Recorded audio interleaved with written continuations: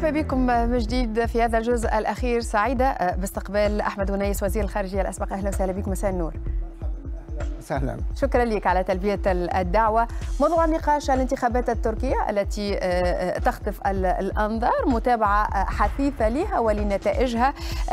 باش نبدأ معك بعض بعد لحظات سيد أحمد ونيس. لكن قبل ذلك خلينا نشوف مع بعضنا خريطه التصويت حسب الولايات لكل من أردوغان وأوغلو. نبداو بالمترشح الأول أردوغان اللي فاز في 51 ولاية ونذكروا اللي أردوغان خسر أهم ولايتين وهما إسطنبول وأنقرة وسيطر على مدن الوسط والشمال أبرزها قونيا فاز في ولايات تضررت من الزلزال مثل أورفا وغازي عنتاب.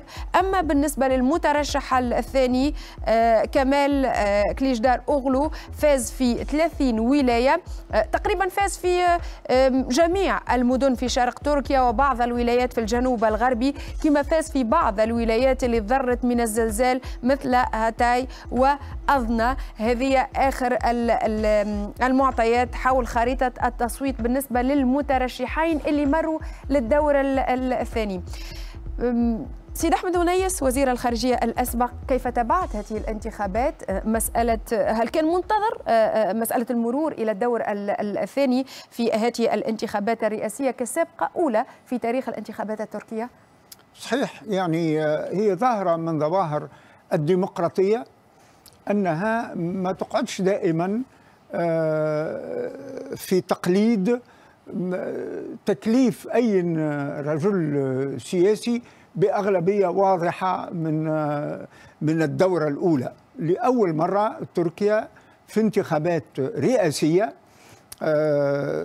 زعزعت التقليد هذايا وهو ظاهرة من ظواهر النضج في تبني النظام الديمقراطي بالنسبة للمجتمع التركي. واعتقد انه ظاهرة صحية.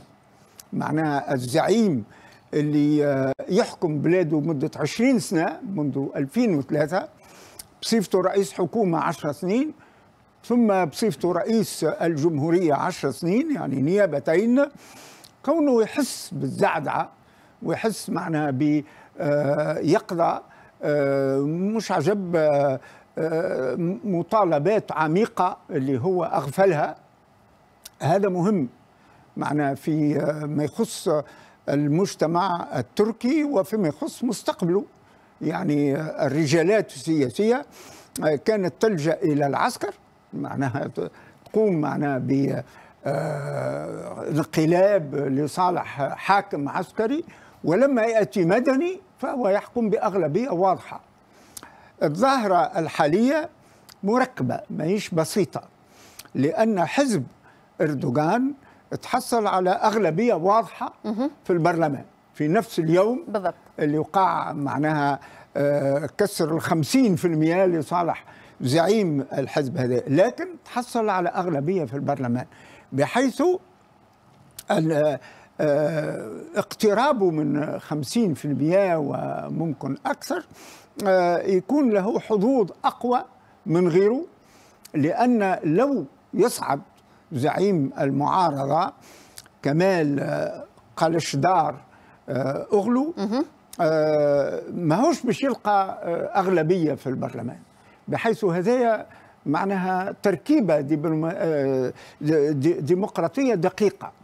ثم ما نتمناوش أن تركيا في الظرف الحالي وفي التقلبات السياسية الحالية تدخل فيها احتي... معناها ائتلافات سياسية لو لو تدخل حكومة ائتلافات باش تكون معناها الطعن فيها يتيسر يكون سهل علاش؟ آه لأن باش تعيش ظرف معنى اقتصادي صعب واليوم تركيا تمر بظرف اقتصادي صعب والليرة التركية ساقطة معناها ضعفت والتدين معناها نسبة الدين بالنسبة لتركيا ضخم والأغلبية معناها إشعاع الرئيس اللي كان أقوى فهمت؟ بداية تضرب بحيث الانتقال باش يكون دقيق. والحكم اللي ما يكسبش أغلبية في البرلمان باش يكون مضعضع. بحيث آه، استقرار آه، تركيا باش يكون صعب. واليوم استقرار تركيا عنده معنى كبير لأن أوروبا تعاني في حرب وما بعد الحرب باش يكون أظن نظام عالمي جديد. وتركيا جات ما بين أوروبا وآسيا ما بين أوروبا الغربية وروسيا في ظرف معناها في موقع جيوسياسي دقيق كذلك. سيد أحمد ونيس كيفاش تفسر إنه أردوغان خسر في أهم ولايتين؟ نحكيو على إسطنبول وعلى أنقرة. المدن لكن في نفس الوقت سامحني فاز ببعض الولايات اللي أو صوتت له ولايات متضررة من الزلزال. وأنت تعرف الرجة السياسية أي. اللي عملها الزلزال. أي. آه المدن تكون دائما ميالة إلى آه معناها التحول آه، معناها على الحكم. المدن الكبرى النخبة معناها بالنسبة للحاكم اللي يقعد عشرين سنة طبيعي وأن إسطنبول وأنقرة والمدن آه، الكبرى تحب النفس الديمقراطي وتحب معناها التعاقب آه، على الحكم. وطبيعي أن المعارضة معناها كانت مشتة وحدت صفوفها وست أحزاب اختاروا زعيم لهم وهذا نضج بالنسبة للمجتمع التركي وإن شاء الله تكون عدوى شريفة بالنسبة للديمقراطيات الإسلامية الأخرى. على كل الميزان الديمقراطي قاعد يتعدل. وإسطنبول وأنقرة مرشحة معناها للطعن في زعيم يدعي بنيابة خامسة كما نقولوا معنا بوتفليقة طلب نيابة خامسة قامت عليه القيامة وخرج فهمت؟ بحيث طبيعي وأن في المجتمع التركي معناه القائد اللي يقعد آه، عشرين سنة وهو مدني ماهوش عسكري أنه يتعرض إلى زعزعة سياسية. هذا شيء طبيعي. تفضلوا أسئلتكم لطفي وخليفة. وكن ناخذ رمزية أخرى في هذه الانتخابات بالذات؟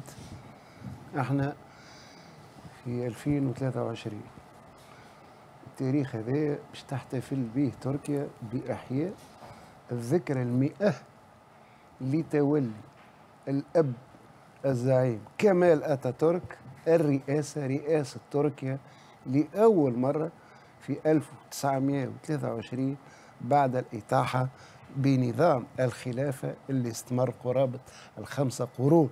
ومن هنا كل مترشح يسعى أن يكون هو الفائز حتى يلتصق ذكره بالأب المؤسس كمال أتاتورك أو أب الشعب كما يلقبونه آه، في تركيا. لكن إحنا سي أنيس نعرفوا اللي أردوغان في بدايته وقت اللي كان رئيس بلدية أكيد راك تعرف الأمور هذه أكثر منا. عمل وقتها خطاب قال فيه 2003 2003 مساجدنا ثكناتنا صومعاتنا بنادقنا وقبابها دروعنا أو خوذاتنا.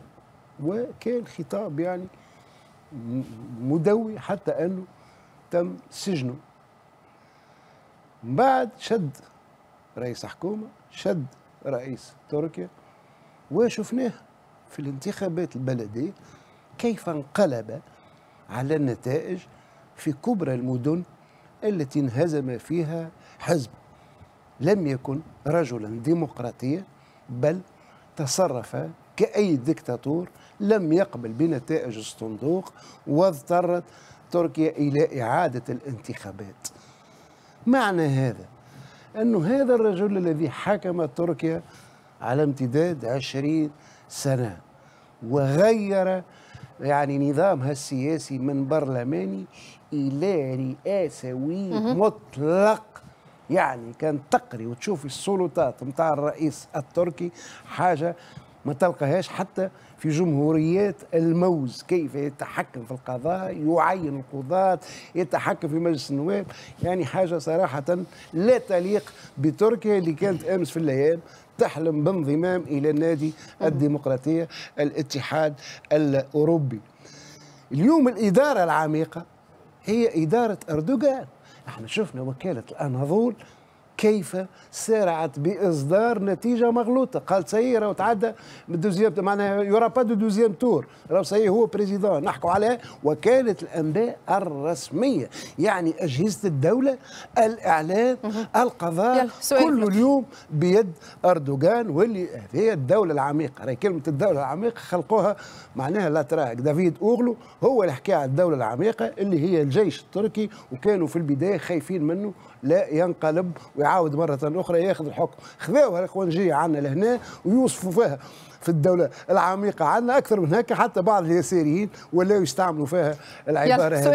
دونك هل معنى هذا أن أردوغان لو انهزم سيقبل بالخروج من رئاسة تركيا أم أنه ربما تكون فما سيناريو آخر؟ يبدو لي أن أردوغان دخل هذه الانتخابات وهو متأكد من أنه سيكون رئيس تركيا والدليل أنه حزبه رغم الانهيارات الاقتصادية هو الذي فاز في هذه يلا يجاوبك لطفي. أه سيدي أحمد النايس مش خليك تجاوبوا بعد الفصل سؤال طويل مهم لكن بعد الفصل